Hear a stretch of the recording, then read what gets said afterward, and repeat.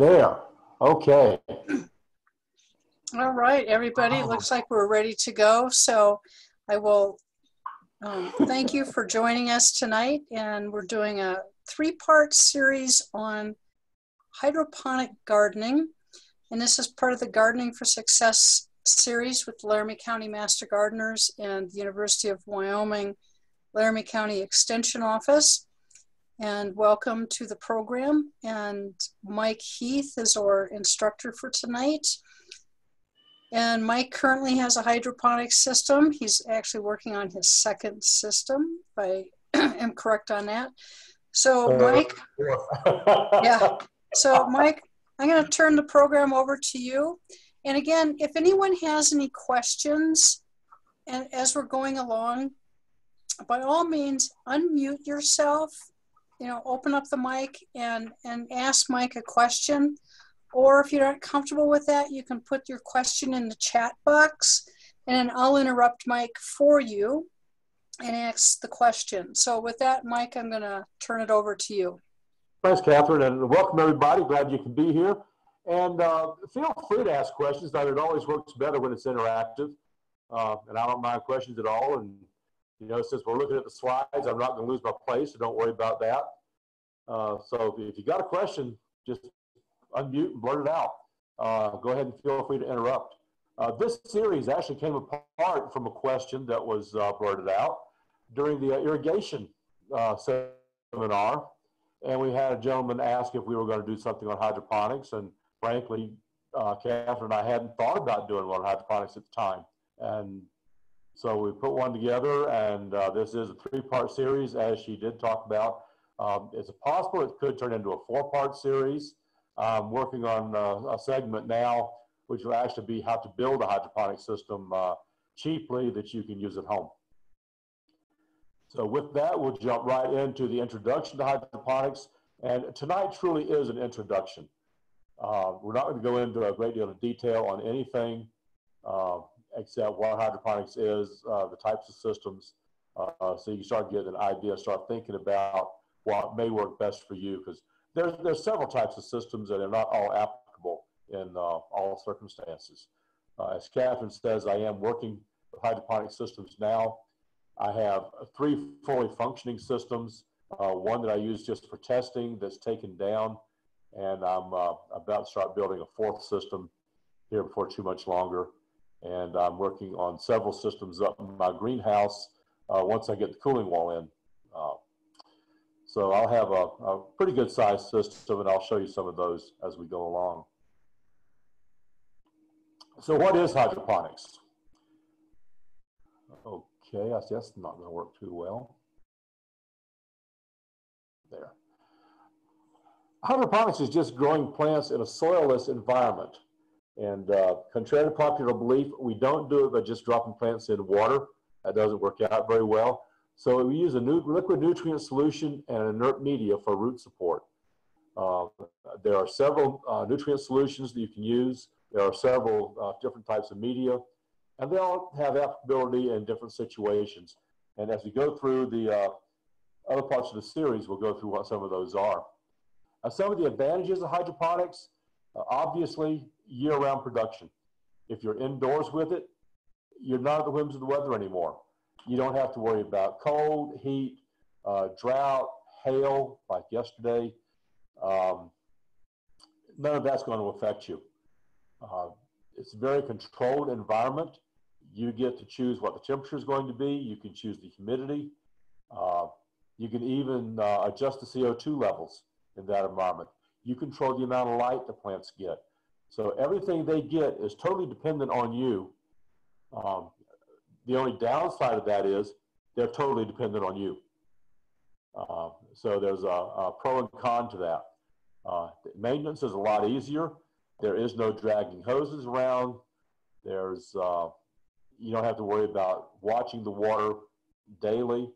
Uh, and I mean by watching, going out and checking soil, making sure certain areas aren't uh, too dry, certain areas aren't too wet, uh, moving things around that way, which takes a lot of time and effort. Uh, you have one place on a hydroponic system to check all of this.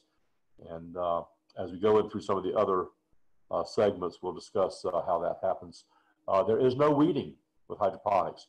To me, this is absolutely critical, and I am just jumping for joy that I don't have to deal with weeds anymore. Uh, the seeds that you get from the uh, nurseries are pure seeds. There's no weed seed in there. And uh, that, like I say, that's just wonderful news uh, to me. Uh, you have better control of your nutrients and your pH in your soil.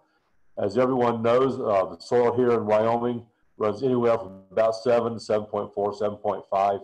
A lot of your plants do better in uh, soils that run right around 6 to 6.2, 6.3.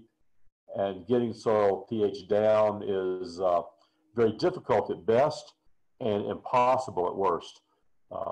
It just leaches out into the soil. The acidifier that you put on it just leaches out. Uh, and the soil just goes back to its natural uh, level. And here it's a, a relatively basic soil. Um, so with the uh, hydroponics, everything is contained in your tanks. And so you have good control over your pH, good control over your nutrients as well, uh, because you have to check those almost daily. And uh, you can adjust nutrients by adding to your uh, uh, nutrient level in your uh, solution. There's a decreased water usage and waste runoff. And the best example I can give you of this is my own system. I have a soil-based garden as well. And uh, this year I'm using about 2,240 square feet of that. Uh, it's growing corn, um, as some of you heard Catherine and I talking about earlier. I have garlic in there, a little bit of wheat, um, asparagus, and strawberries in that soil-based system.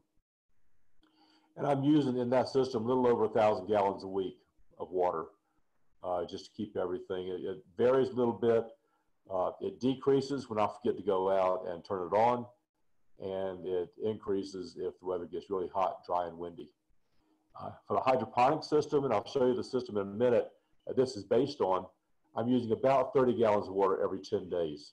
The footprint of that system is 48 square feet. The uh, growing surface of that system is 144 square feet.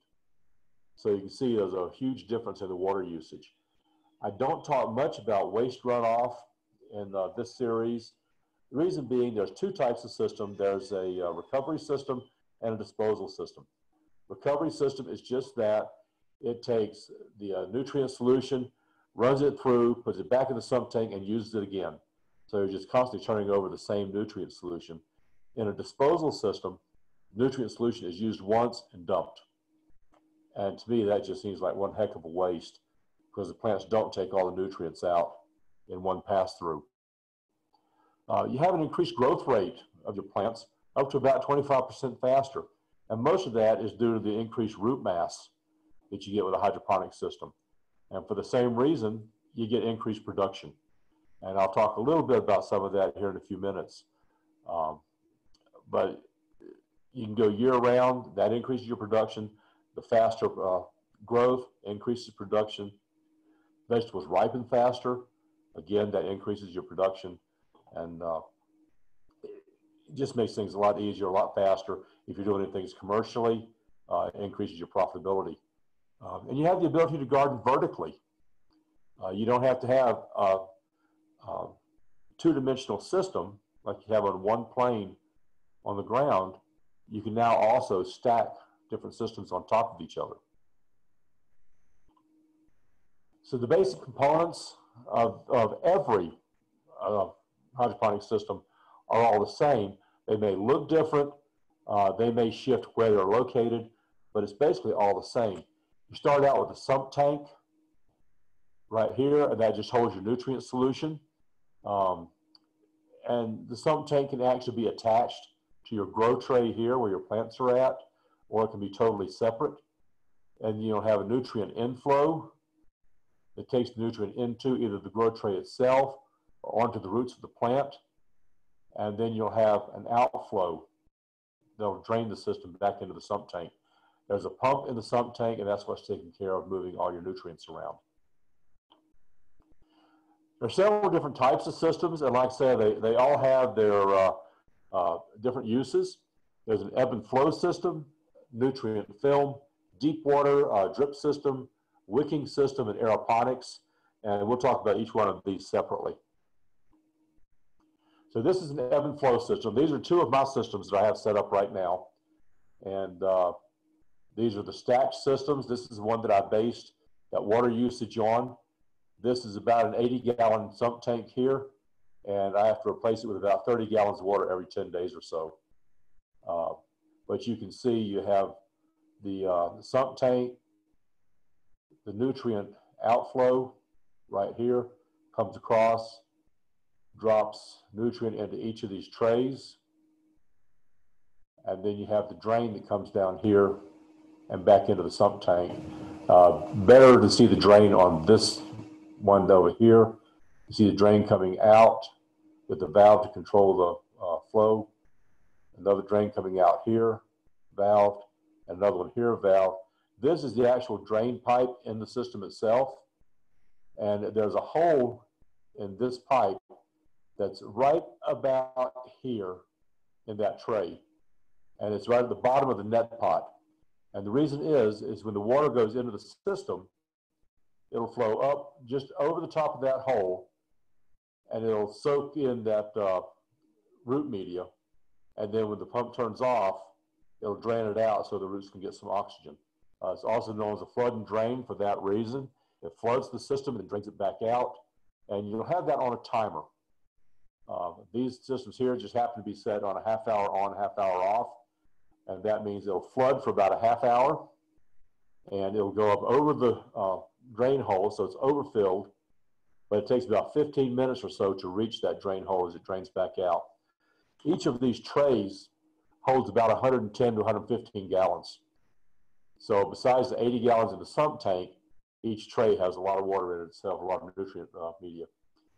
Um, so they get about 15 minutes of exposure to air. It's not enough to dry them out, but it does allow them to pull in some oxygen themselves. That increases the size of the root system as they're searching for that liquid. Uh, it'll increase the mass, the bulk, uh, the strength of the roots. Uh, in future presentations, we'll show you a comparison of some of those roots. Um, and increased root mass just increases the uh, uh, plant growth and production. This is a nutrient film system. This particular system here is at Colorado State University. Um, and that's probably pretty obvious because how nice it is. Uh, each tray is about two inches deep. What these do is you have a continuous flow of nutrient flowing down the tray, so they go over the roots of the plant. And the trays are at a slight tilt, uh, probably about 10 degrees. Uh, so the nutrient is flowing down, and you can see the nutrient outflow right here is the half inch poly tube going into a quarter inch tube into the end, which the nutrient flows down into a collection pipe at the other end. Now, the downside of this particular system is just the way it's set up.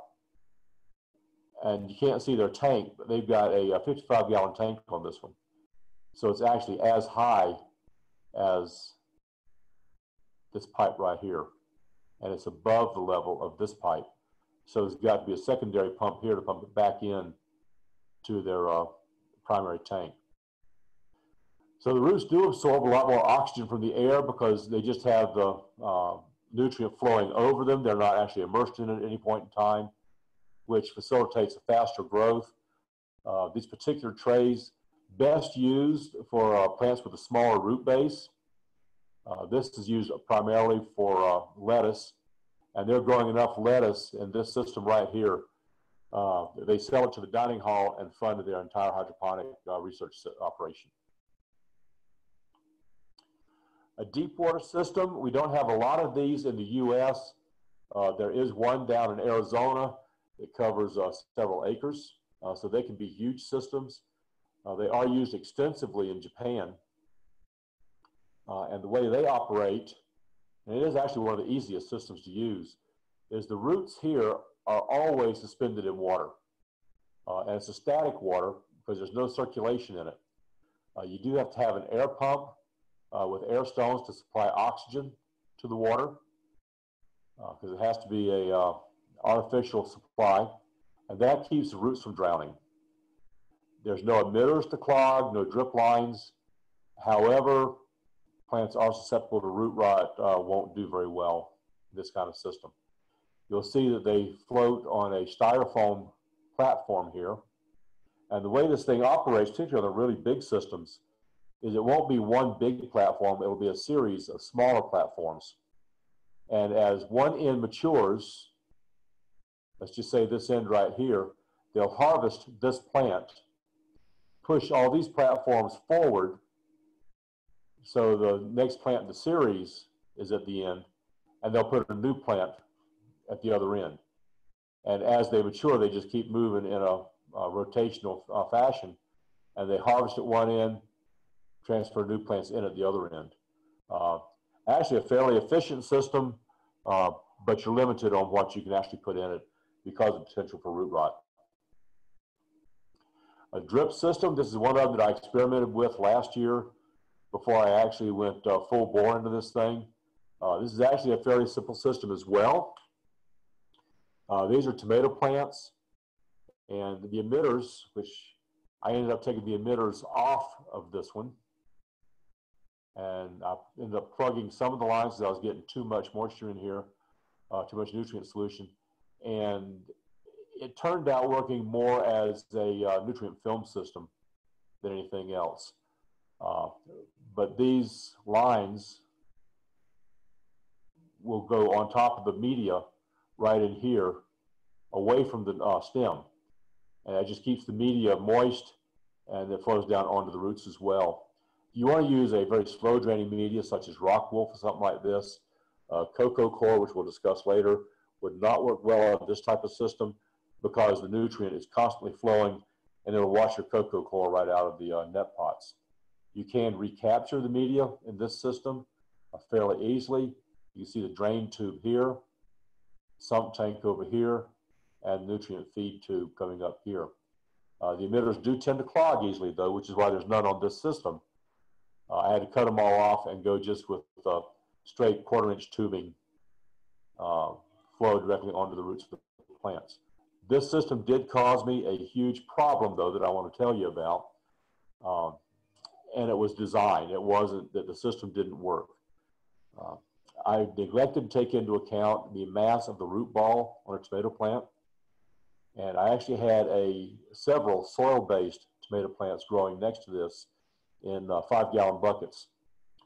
The roots in the uh, control uh, plants flowed out of the buckets and into the ground and actually took over the ground and stuck the buckets to the ground when I went to pick them up. So you can imagine what a four inch PVC is going to do with that size of a root ball. These plants got up to about six feet tall. Uh, they're indeterminate plants.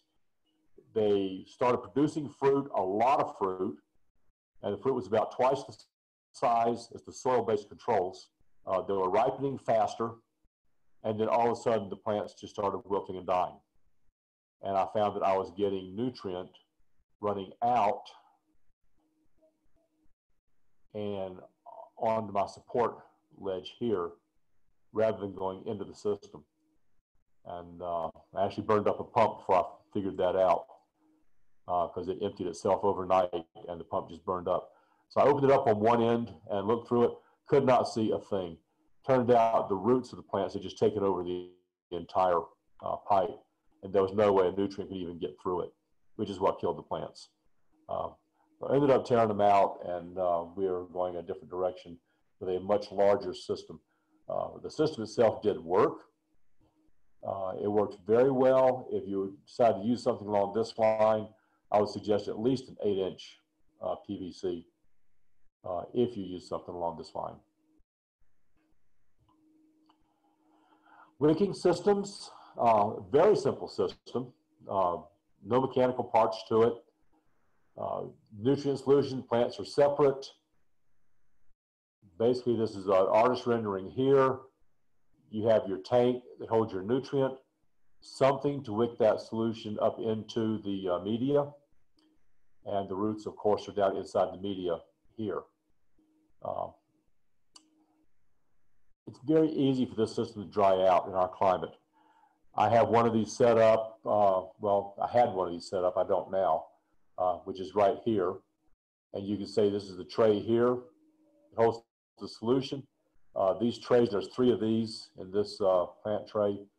It's set up a little bit higher so the media or the nutrient comes in contact with the media, which wicks it up into the uh, root systems of this basil. Requires a lot closer monitoring because it does dry out. Uh, best used for a light feeder because you'll go through the nutrients real fast as everything dries out. And I found actually that the, this particular system works best for rooting plants. Uh, the basil that's in here was basil that was in another system that I had. Uh, I had several harvests off of it, and the plants were starting to die. They were about nine months old. So I took cuttings off of them, put them in here, and uh, started rooting the cuttings.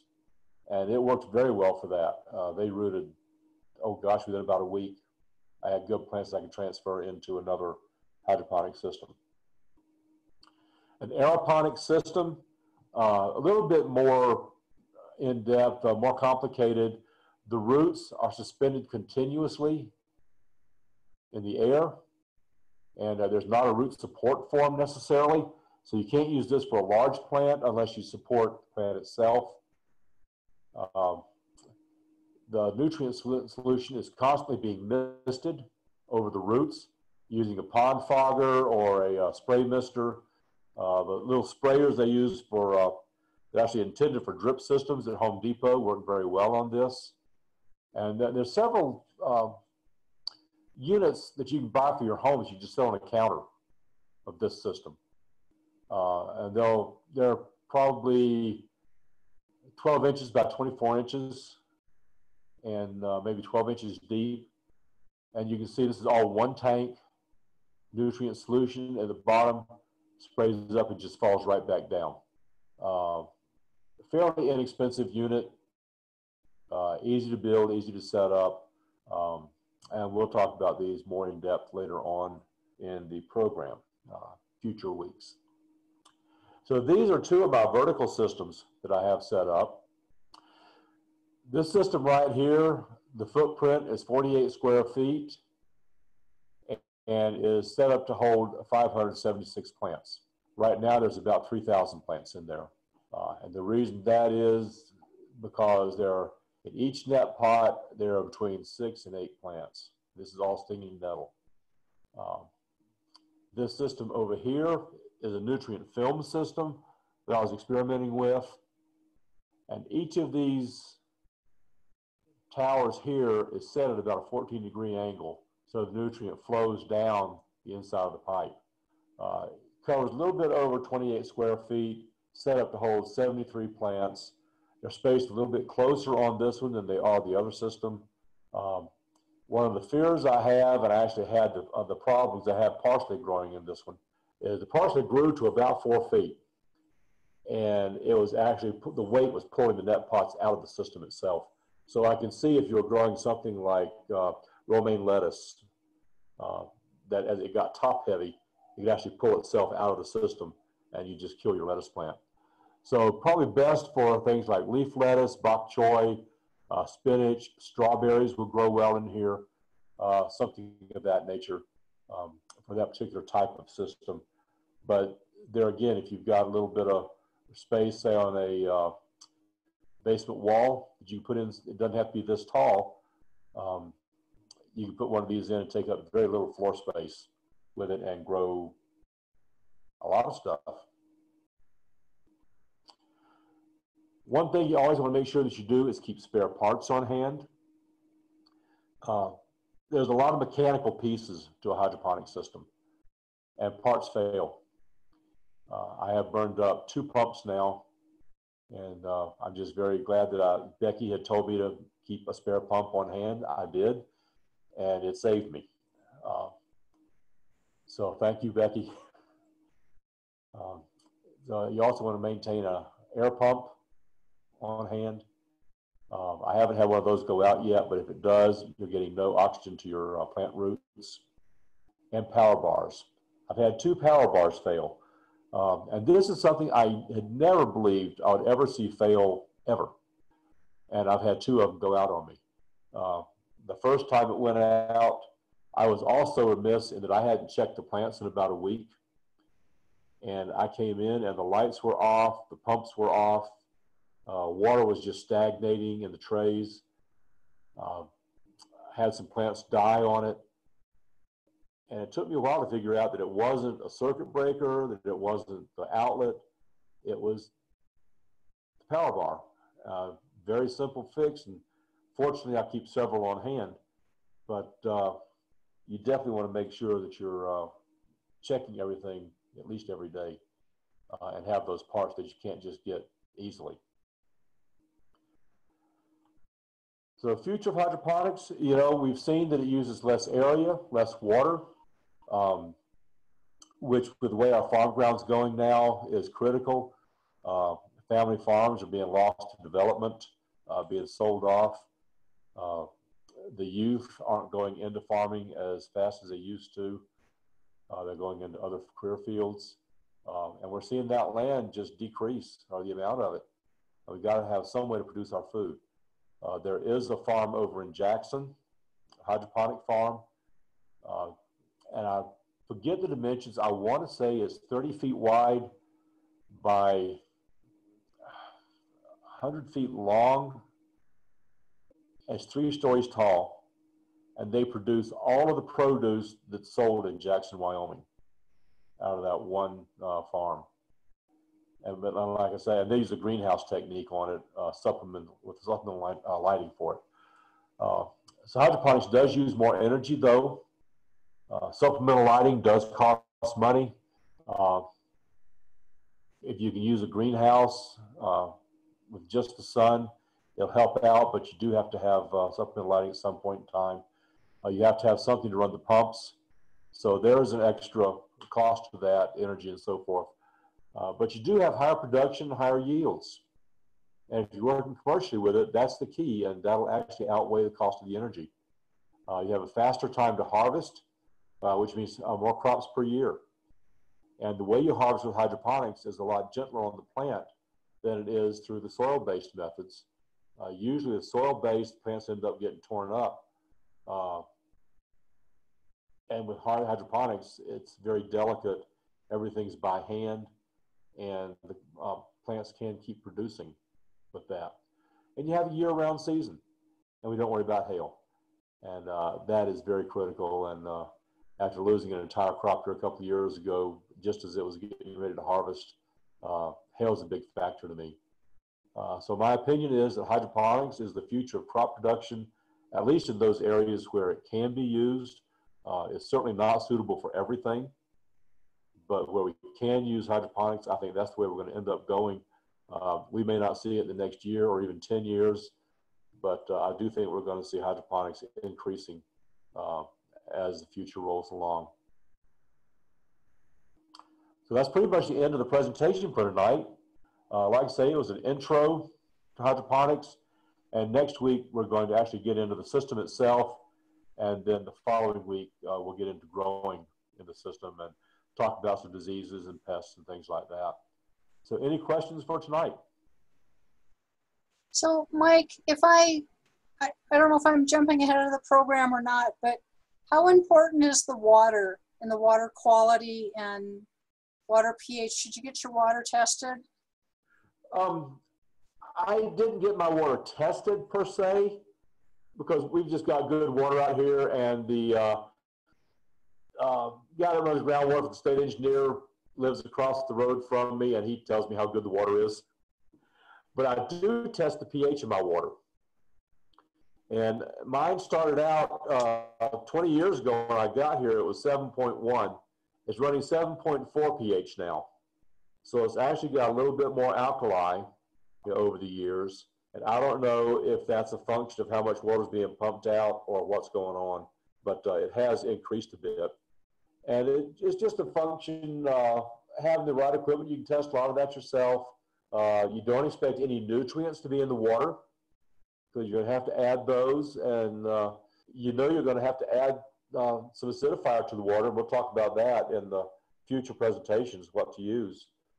Um, but as long as you don't have just bad water, and if it's bad, you'll definitely know it because you'll taste it.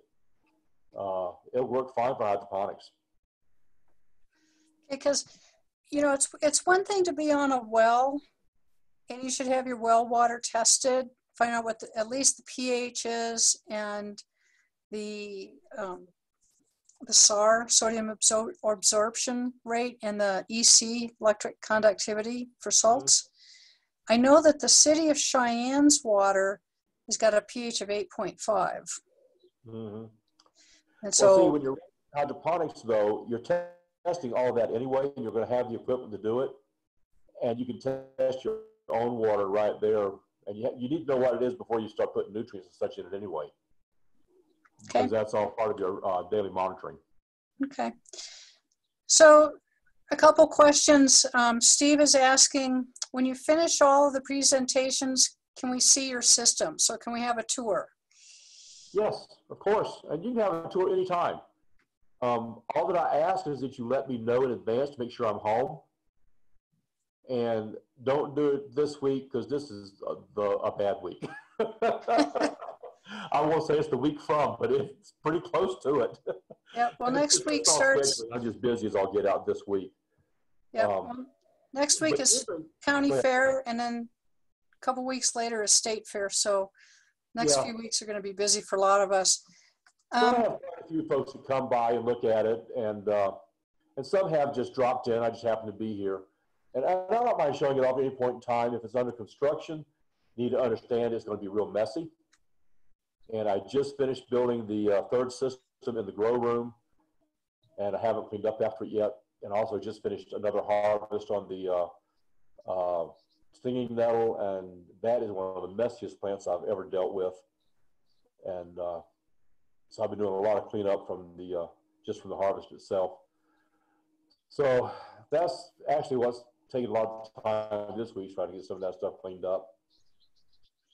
Okay, so Mike, from David, um, it says soil-based plants have complex relations with fungi and bacteria along their root systems.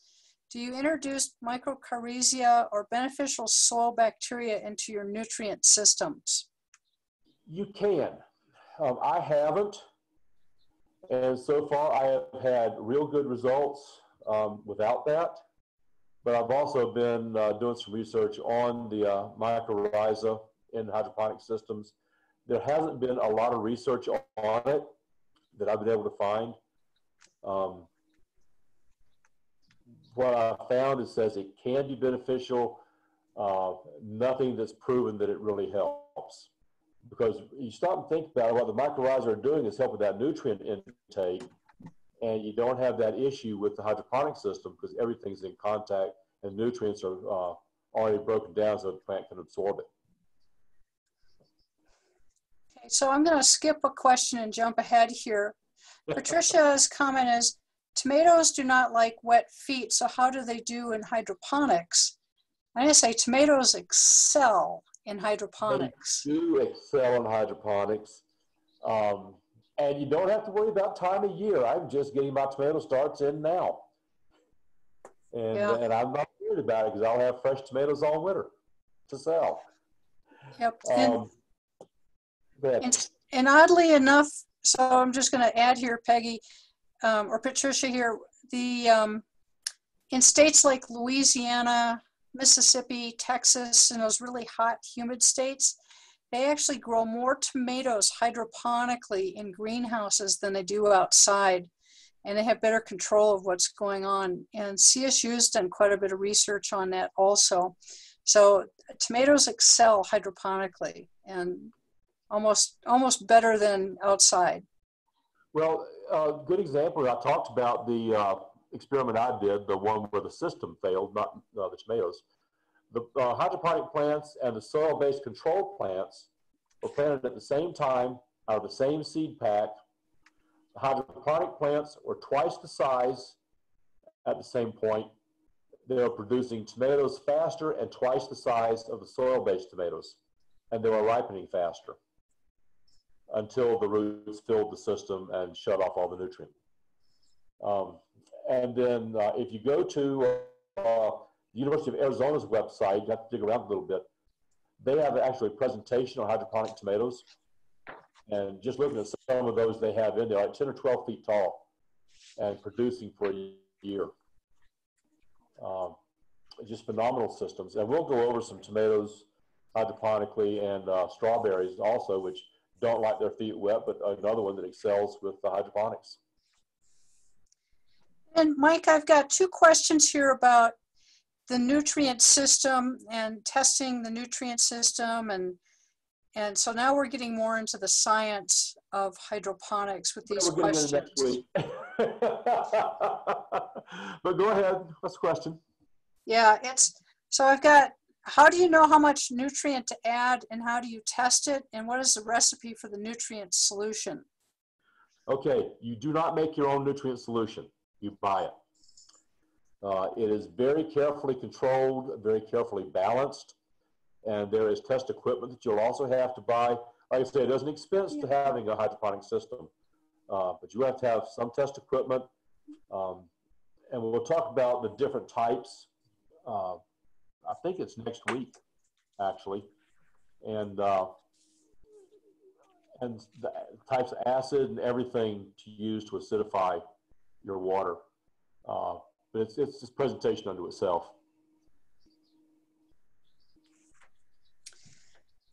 Yeah, the, the nutrient solution is is incredibly complicated, complex, and like Mike said, you don't want to make your own, and you never, never want to use Miracle-Gro. And there's very specific solutions for everything that you grow. So there's a tomato formula, a lettuce formula, a strawberry formula, a pepper formula, an herb formula. So it's it's all very very specific to what you're growing. And remember, they're all formulated so they can be absorbed by the roots without mycorrhiza being present. Yep. Which is one reason you don't want to make your own. Um, I did take. Uh, I assume everybody on is probably a master gardener, and when I went through the class in 2016, Catherine gave us a recipe for a fertilizer, which I have been using in the soil-based systems ever since, and it's wonderful.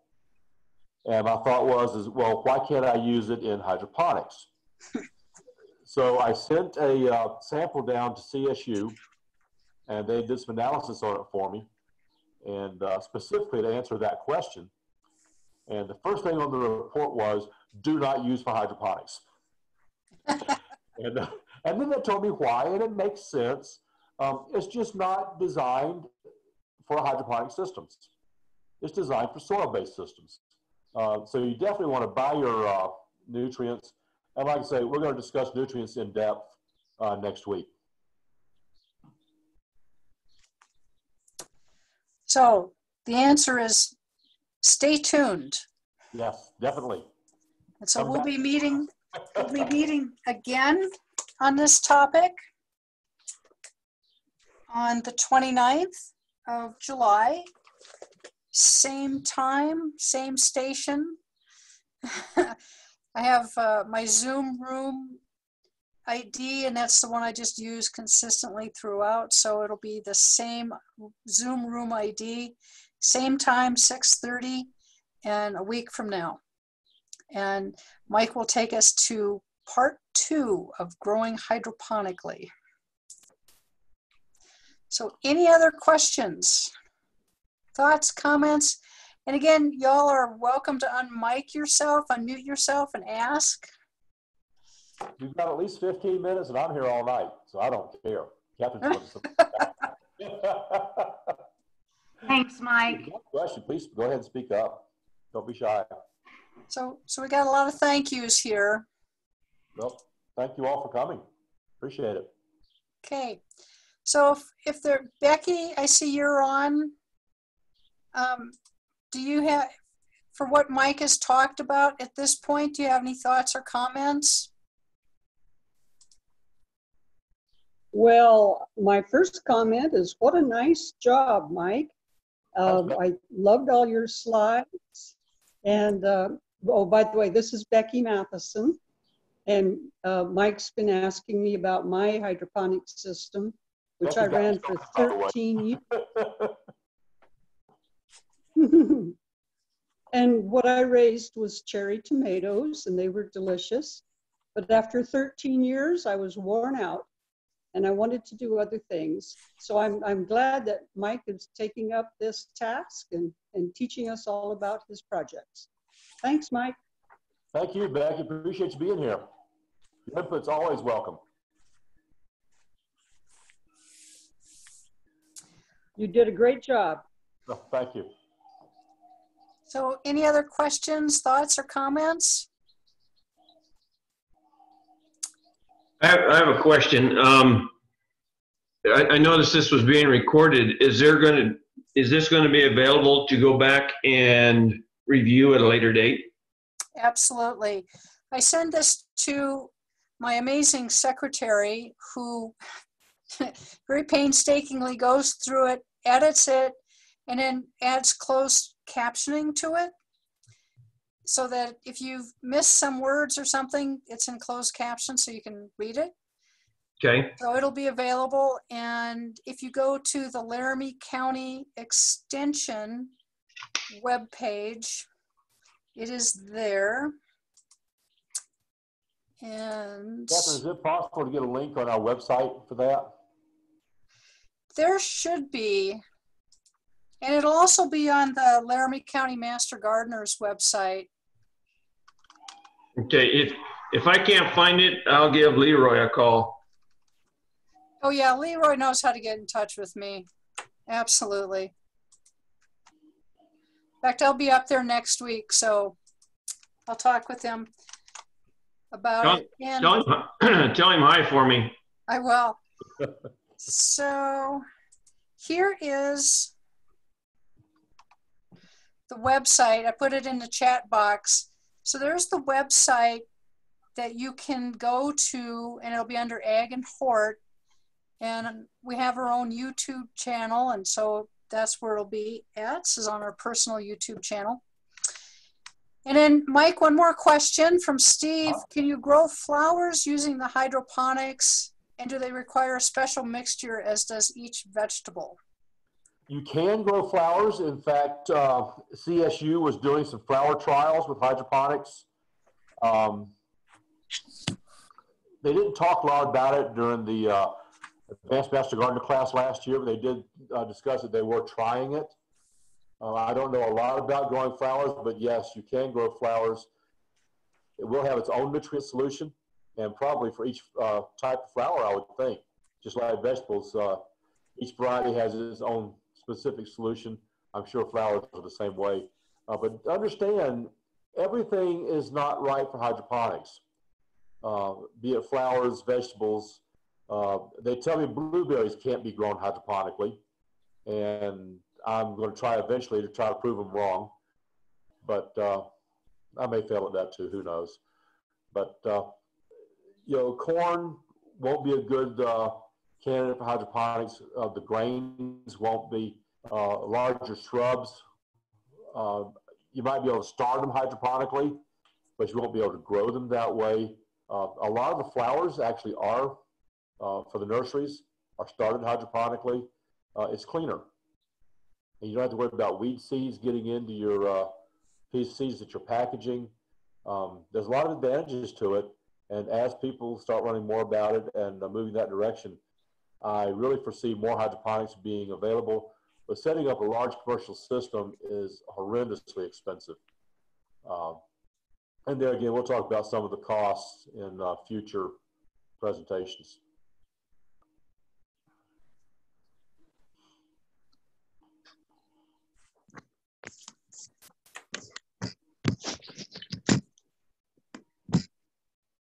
Any more questions?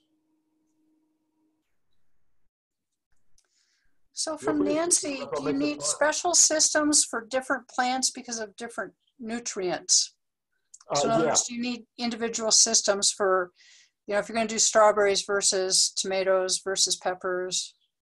Uh, yes, you do. Um, different systems are best for different types of plants. I am going to experiment with tomatoes in a uh, ebb and flow system and see how that works. I'm also going to put strawberries in the same system with them. The nutrient requirements are different, but they're very close. And uh, what I'm trying to do is uh, root some strawberries out of my soil-based strawberry patch um, in a, uh, I, I can't say sterile environment, but a clean environment. And I'll transfer those over into the uh, indoor system. And I did it last year and I got good root systems coming up, but I waited too late. It was uh, towards the end of October when I started. And uh, although they were starting to get some roots, it wasn't good enough to transfer over at the time. Uh, so rooting them, I think is going to work fine. I did have an issue that we'll actually go into, but I'll tell you about it now anyway. Uh, don't ever take a plant out of soil, wash the roots, and put it in a hydroponic system. You're just asking for all kinds of grief. Uh, I did that. The first thing I tried was strawberries. I uh, have a beautiful strawberry patch, a very high production uh, patch, and I dug up some plants, washed the roots real good, put them in the system, and they grew and they grew and they grew, and all of a sudden they started wilting and dying and rotting, and I had gray mold everywhere. And uh, that is very difficult to wash out of a system. Uh, you got to take the entire system down, sterilize it, clean it, and it's an absolute nightmare. So just a word to the wise, leave soil-based plants in the soil and start everything fresh for hydroponics. Hmm.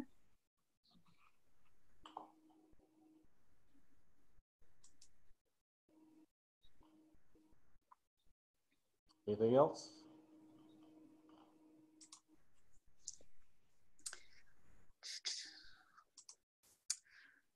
Well, I'm not seeing any other questions. Thank you, Mike. Very welcome. Enjoyed it. Thanks for coming, everybody. All right. Um, no more questions. I will see everybody hopefully next week. Say, again, same same time, same station, same location. and Mike will start us on part two. So again, bring your questions and we will try to help you along with growing hydroponically. So Mike, Again, thank you very much for being our instructor tonight. And everybody, thanks for taking some time out of your evening to join us. So you all have a good week and stay safe and have fun in your garden. Good evening, everybody. Take care. Thanks, guys. Okay. Good night.